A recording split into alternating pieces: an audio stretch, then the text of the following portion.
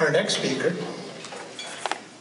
an old friend, and I was thinking about how I should introduce you. and a memory came of um, an event that we had in Parma when you were in a heated campaign. And um, I was the master of ceremonies. And I had been questioned, you know, why are we doing this? Okay, because a lot of our Republican friends not quite as uh, supportive as I was. Okay. But that changed quickly. Okay.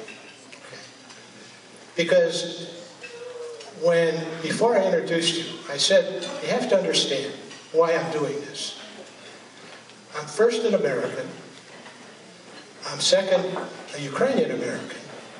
And I'm third, a Republican. And putting that all into perspective, as most of us in this room do, I have no choice but to endorse Mary Rose Oakar. And with that, I'd like to call her to the podium. Former Congressman, currently with the State Board of Education, and our friend forever, Mary Rose Oakar. Chair,